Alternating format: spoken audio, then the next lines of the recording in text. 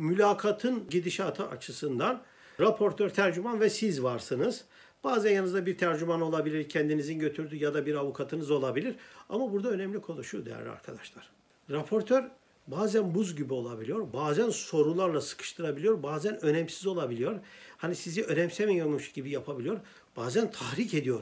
Üstünüzü üstünüze geliyor. Sadece sorularıma cevap verin, başka şey sormayın gibi sizi sanki polis sorgusu gibi, savcılık sorgusu gibi ifadeye alabiliyor. Evet değerli arkadaşlar işte sorun da burada. Zaten Türkiye'den bir zulümden kaçıyorsunuz. Oradan baskı, zulüm, ayrımcılık, işkence görmüşsünüz.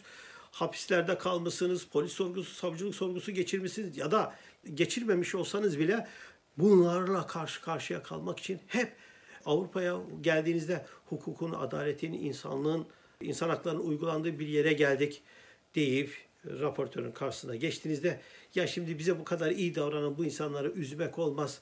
Adamlar ters düşmek doğru olmaz. Endişelerinden dolayı soru sordukça siniyoruz. Soru sordukça siniyoruz. Kabuğumuza çekiliyoruz. Çünkü üzmek istemiyoruz. Ya da yanlış yaparım düşüncesiyle Türkiye'deki görmüş olduğumuz baskıdan dolayı hep höttötlerden dolayı sindiğimiz için ayrıyetten buraya gelince de buralara burada da raportörün bu polis sorgusu gibi, savcılık sorgusu gibi sorgu yapmasından dolayı, silme hadisesinden dolayı maalesef mülakatımız yanlış gidiyor ve sindiğimizden dolayı da pısırık davrandığımızdan dolayı da ret alabiliyoruz. Buraya dikkatinizi çekiyorum değerli arkadaşlar. Avrupa bir hukuk devleti. Sizi dinleyen için insan devletin yetkili kıldığı bir insandır. Sizi savcılık ve polis gibi sorgulayamaz. Onun görevi sizin mağduriyetini sonuna kadar dinlemektir. Anlamadığı yerlerde konuyu anlaşılır kılabilmek için konuyu açma adına soru sormasıdır. Eğer sizi sadece sorguladıysa ve sizin kendinize anlatmanıza müsaade etmediyse beyefendi ya da hanımefendi polis ve savcı gibi sorguladınız. Ben kendimi ve mağduriyetimi anlatamadım. Müsaade eder misiniz ben kendimi ve mağduriyetimi anlatmak ve bu anlattıklarımın da tutanağa geçmesini istiyorum deme hakkınız var. Bu evrakların avukatıma gönderilmesini istiyorum. Avukatım inceledikten sonra ben imzalamak istiyorum diyebilirsiniz.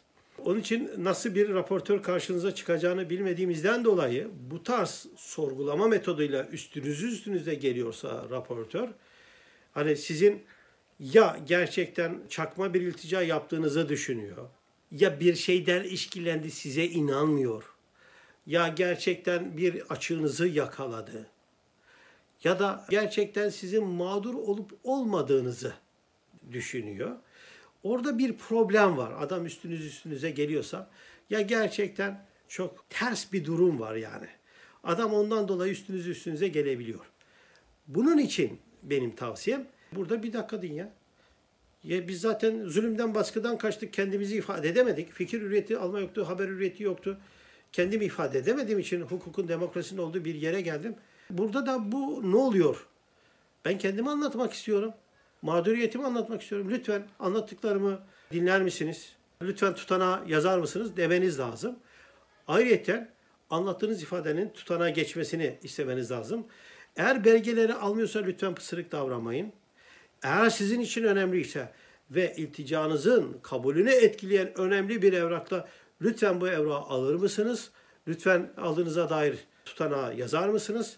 Aldığınız evrakların listesinin bir fotokopisini ve aldığınıza dair evrak verir misiniz diye beyanda bulunmanızı tavsiye ediyorum değerli arkadaşlar. İşe yarayacaktır. Bunlar tabi tavsiyedir. Uygulayıp uygulamamak size aittir. Ama bu şekilde bir sürü retalan takipçimizle görüştüm. Üzücü bir durum. Bu fotoğrafla karşılaşmamanız için tavsiye niteliğinde uyup uymamak size aittir. Bir sonraki çalışmamızda görüşmek üzere. Sağlıcakla kalınız. İyi günler efendim.